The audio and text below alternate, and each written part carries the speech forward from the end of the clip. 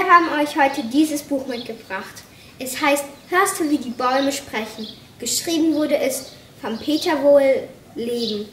Es ist eins meiner Lieblingsbücher, weil da man da ganz viel über den Wald erfahren kann und weil es lustig ist. Tschüss!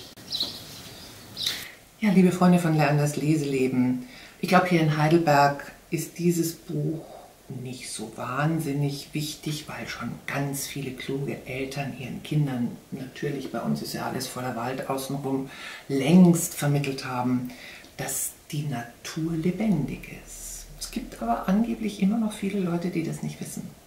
Also zum Beispiel wissen die nicht, tja, was wissen die nicht? Ob es im Wald ein Internet gibt. Wissen Sie das? Tja, ich kann es Ihnen schon verraten. Das gibt es. Und zwar seit Tausenden von Jahren oder seit Millionen von Jahren ist das Internet, also sprich ein Netzwerk von Pilzfäden durch den ganzen Waldboden gezogen. Und dieses Netzwerk sorgt dafür, dass die Pilze sich auch kilometerweit miteinander unterhalten können. Und manchmal machen sie das dann sogar mit den Bäumen, dass sie denen Informationen weitergeben. Zum Beispiel, wenn irgendwelche Gifte auftauchen oder schreckliche Feinde auftauchen, also böse Leute, wie zum Beispiel Schnecken, die einen auffressen können. Zum Beispiel kleine Pflänzchen von Bäumen oder so. Aber darüber hinaus geht es auch darum, was zum Beispiel die Tiere erzählen. Vielleicht interessiert Sie das ja auch. Also ich möchte das immer so gerne wissen, was meine Amsel singt oder was das kleine Kerlchen hier unten zu erzählen hat oder die Elstern oder der Specht.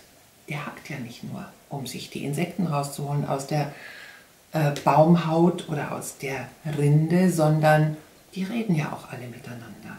Und genau darum geht es. Peter Wohleben, das ist dieser begnadete Förster, der ein Herz für seine Zöglinge hat. Der hat ja auch das berühmte Buch geschrieben über die Bäume, die sich miteinander unterhalten und die sehr, sehr lebendige Persönlichkeiten sind. Und hier geht es nun darum, wie das alles funktioniert. Also zum Beispiel das Familienleben im Wald, der Tiere und der Bäume, was im Wald alles erzählt wird, dass jeder Baum anders ist, dass sie großen Durst haben, wie sie mit ihren Nachbarn umgehen und so weiter und so fort. Es sind ganz viele unterschiedliche Kapitel, in denen immer wieder einzelne Fragen diskutiert werden. Und zwar so, dass es für die Kinder immer auch etwas zu tun gibt und etwas zu überprüfen gibt und etwas nachzukontrollieren gibt. Und dass sie wirklich dabei sinnlich begreifen können, dass unsere Natur lebendig ist.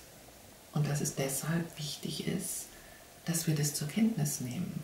Ich habe das übrigens gemerkt, weil ich auch vor kurzem noch sehr dumm war und bei uns im Wald einen Baum, der mich gestört hat, einfach kurzerhand habe fällen lassen. Der war noch klein, also man durfte den noch fällen. Aber der Baum daneben hat zwei Jahre gebraucht, bis er seine Blätter nicht mehr hängen ließ. Das heißt, er hat wirklich getrauert um seinen Nachbarn. Jetzt hatte er offensichtlich niemanden mehr zum Reden bleibt einem nichts anderes übrig, muss man ganz schnell einen neuen Baum pflanzen. Aber noch besser, erstmal gar nicht fällen. Jeder Baum, der in unserer Welt steht, ist eine Person und eine Kostbarkeit. Und darum geht es in diesen Büchern für Kinder, das möglichst früh zu erleben und zu begreifen. Ja, man muss in Ferien gar nicht unbedingt weit wegfahren. Man kann einfach mit Kindern in den Wald gehen. Zusammen mit diesem Buch sind sehr preisgünstige Ferien und sehr kostbare, wertvolle Ferien. In diesem Sinne, schöne Ferien.